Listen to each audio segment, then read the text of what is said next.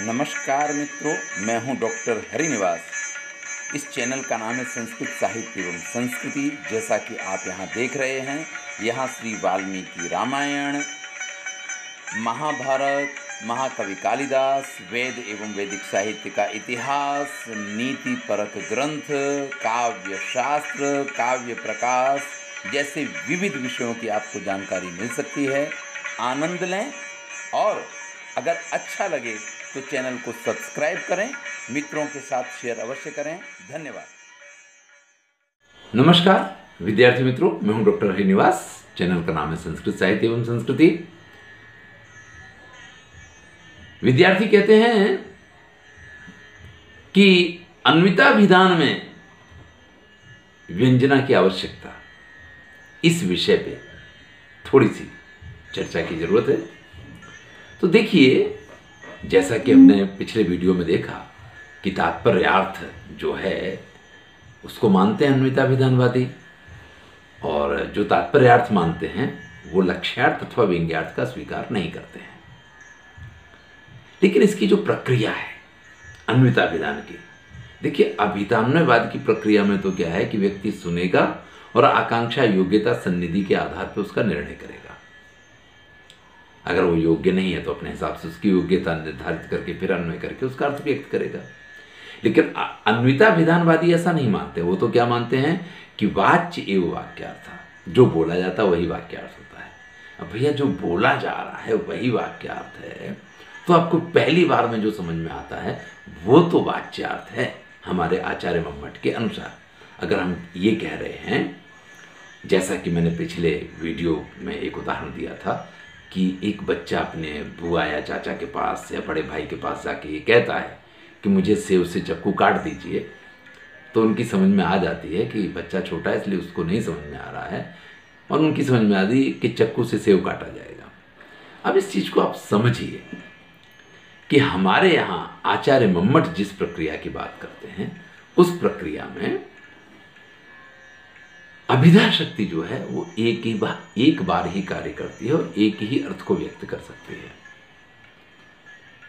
तो जो वाच्यार्थ में प्राप्त हुआ, वो यहाँ पे ये प्राप्त हुआ कि बालक ने कहा है कि सेव से चक्कू को काट दीजिए। अब सेव से चक्कू को काटा नहीं जा सकता है, इसलिए यहाँ मुख्य अर्थ का बात होगा। और फिर आप जब मुख्य अर्थ बराबर नहीं है तो आप उससे लगता हुआ कोई अर्थ ढूंढेंगे? तो लगता अर्थ क्या है कि चक्कू से सेव को काट दिया जाए। अब चक्कू से जब आप सेव को काटते हैं तो बच्चे ने ऐसा कहा क्यों? तो यहाँ पे अब आपके पास या तो कोई प्रयोजन होना चाहिए, या रूढ़ी होनी चाहिए, या कुछ ना कुछ ऐसा होना चाहिए। तो वहाँ पे लक्षण आपकी काम करेगी। लेकिन जहाँ लक्षणा भी काम ना करे और जहाँ वाच्यार्थ भी काम ना करे, वहाँ व्यंग्यार्थ की प्राप्ति और ये व्यंग्यार्थ जो है, इसके लिए आकांक्षा, योग्यता, सन्निधि, ये जो चीज़ें अभितान्वयवादियों ने कही है ना, उतनी ही नहीं, बहुत सारी ऐसी चीज़ें हैं, जो हमारे ज्ञान के आधार पे हमारे अंदर विकसित होती हैं। और जैसे जैसे उनका विकास होता जाता है, वैसे वैसे हम व्यंग्यार्थ को अच्छी तरीके से समझते जाते हैं। तो जब अभिधा शक्ति काम करना बंद कर दे और लक्षणा शक्ति भी काम ना करे। तो वो अर्थ की सिद्धि मात्र और मात्र व्यंजना के द्वारा ही संभव होती है।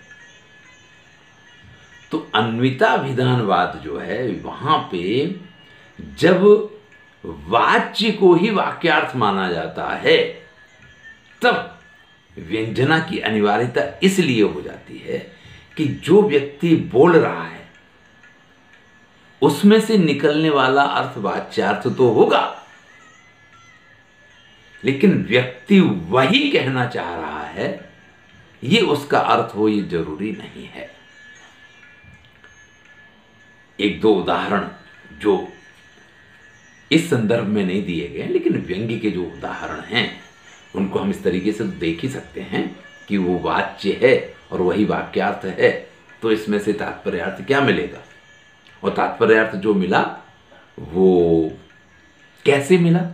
क्योंकि तात्पर्यार्थ का तो नियम एक ही है कि वक्ता जो बोल रहा है, उसके मन में जो बात है, श्रोता अगर उस बात को समझ जाता है तो तात्पर्य अर्थ है। उसको कहना ना पड़े कि हाँ मैं ये कहना चाह रहा हूँ या मेरे कहने का ये तात्पर्य है। ये बात जो वो बाद में बोलता है, वही बात उसको समझ में आ जाए तो इसका नाम है तात्पर्य अर्थ अब ध्यान दीजिए मान लीजिए एक बड़ा ही प्रसिद्ध उदाहरण है कि एक प्रेमी प्रेमिका जाकर के एक जगह पर बैठा करते थे, नित्य प्रति थोड़ा एकांत देख करके। लेकिन जैसे वो पहुँचते थे, वहाँ एक साधु रोज आ जाया करता था। उस साधु के आने से उनको बड़ा डिस्टर्ब हुआ करता था, क्योंकि भाई, एकांत चाहिए और एकांत में तो ऐसे में कोई आ जाए तो परेशानी होना स्वाभाविक है। तो एक दिन वो दोनों थोड़ा जल्दी पहुँच गए किसी तरीके से। और जब साधु के आने का समय हुआ तो वहाँ से जल्दी जल्दी वापस आ रहे थे। रास्ते में साधु मिला तो उन्होंने साधु से कहा, बाबा, आप नित्य प्रति वहाँ जाते थे, वो कुत्ता जो आपके ऊपर बड़ा भूसता था ना, अब आप निश्चिंत होके जाओ क्योंकि उस कुत्ते को शेर खा गया है।